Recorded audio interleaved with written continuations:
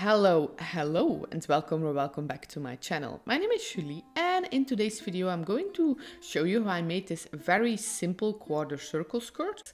I made this skirt from a curtain that I thrifted that I personally think belonged to a very cool grandma, so I'm going to try and turn it into a very cool skirt. And I get an extra point, an extra cool point, because this skirt has pockets.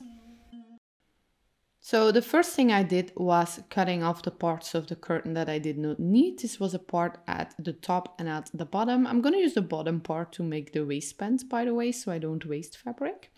And then I laid this out on the floor and I folded my fabric in half, but in a way that it forms a triangle.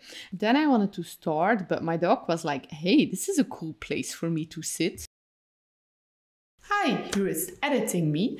I just looked at the footage from me drawing the pattern on the fabric and it's not that clear. So I'm going to use this piece of paper to show you how I did it. So you will have to use your imagination. And imagine that this piece of paper is the fabric. Can you do that? Can you do that? Can you do that? Can you do that? To make a quarter circle skirt, you need to draw a quarter circle on top and on the bottom of this triangle that will make the pattern. The circle on top is for your belly. I'm gonna add an elastic in this and when you add an elastic into a skirt you need to measure the biggest part that you have to pull it over. That is my behind. So I measured this and now I'm going to divide it by 1.57 or half a pi. And now I'm not giving you half a pie, I'm sorry, I'm talking about the mat pi. Mat with an A, to be clear. Now I'm going to use this measurement to draw the first quarter circle on top. The bigger circle on the bottom is to decide the length of your skirt. Choose your desired skirt length and now you have to add this to the length of the small circle and then you draw a second bigger circle in the same way. If you cut this out now, you have a quarter circle skirt. Congratulations, you should be very, very proud of yourself. This is called a quarter circle skirt because if you would make four of these and you would lay them together, you could form a full circle. This is a quarter of that. The more you know. Now you can release your brain of all of that imagination because the skirt is back. I cut this in half for a very, very important and mandatory step, the pockets.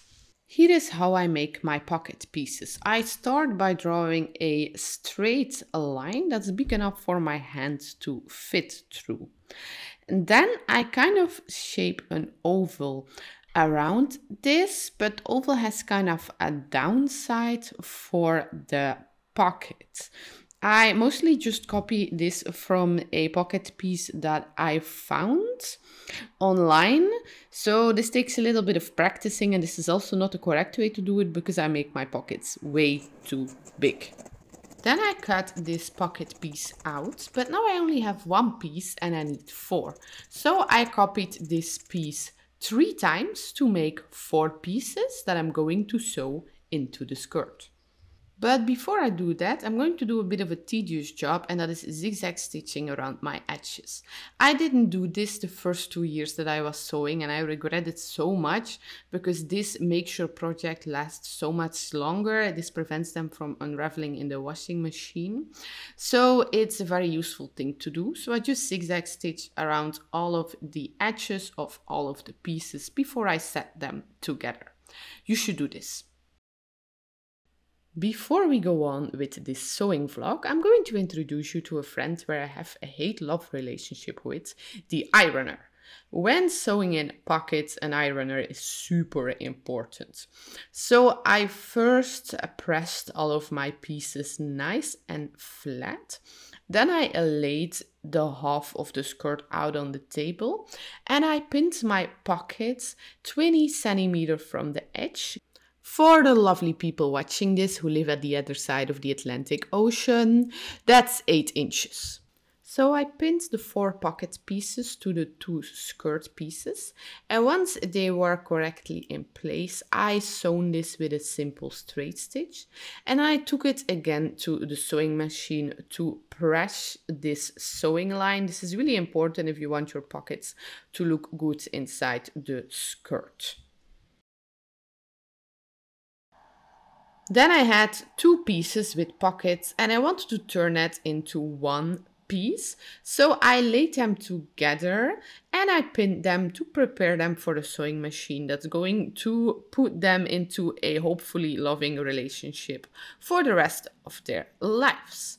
I sewed this with a straight stitch as close as possible to the edges and don't forget to sew along with the pockets.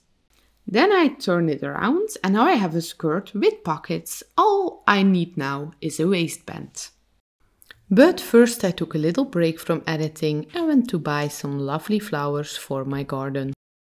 If you have a good memory, you might remember that I saved this piece to make the waistband. So I measured it by holding my skirt next to it. You can also use measuring tape if you prefer that.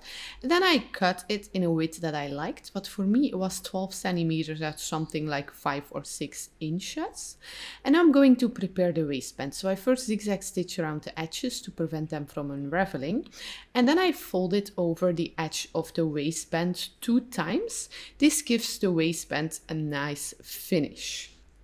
I don't have footage of it, but I also closed the waistband so it formed around. And then I folded it double and now I'm going to pin this over the skirt so the skirt has a waistband.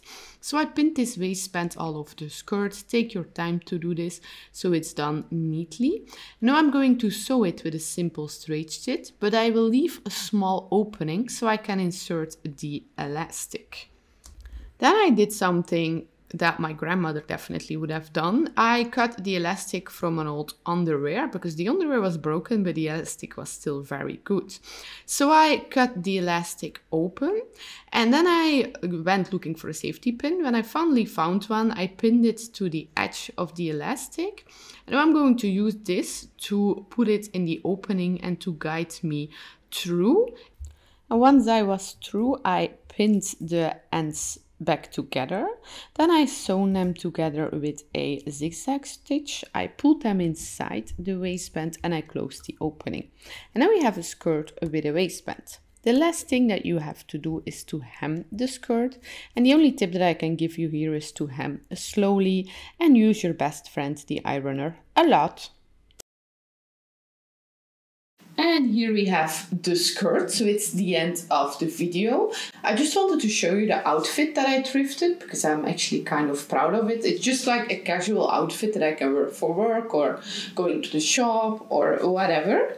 So for the top, I decided to work with the green that is already in the skirt and I found this at the thrift store it's a really nice soft sweater. Even though it's almost summer, it can still get kind of cold where I live, especially in evenings. So I really like this sweater. Then on the same day in the same thrift store, I also found this necklace. This was only a euro, so I'm really happy that I found this and I like to pair it with this. Then I have this bracelet. I will come a little closer so you can see it. And then to finish it off, I have my little earrings. They are also roses. Voila, and of course I also need shoes, so I will get them.